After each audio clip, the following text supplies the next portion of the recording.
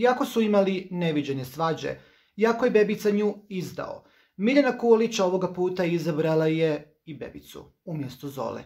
I svi dobro znamo odnos Zole i Miljane, ali začudilo je apsolutno javnost kao i cijelu zadrugu kada je Miljana Kulić izabrala Bebicu pa rekla sljedeće. Ja sam objektivna, Bebica je ovdje ispao pravi muškarac iz razloga što je odgovorio.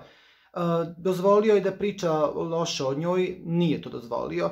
Nije dozvolio da se priča loše o njoj, da se naravno neće družiti sa nekim koji je rekao za njegovu djevojku da je žvalava. Tu je on ispao pravedan i ne druži se više sa Milenom. Kuma je u par navrata uvrijedila kumu, govorila je Miljana Kulić.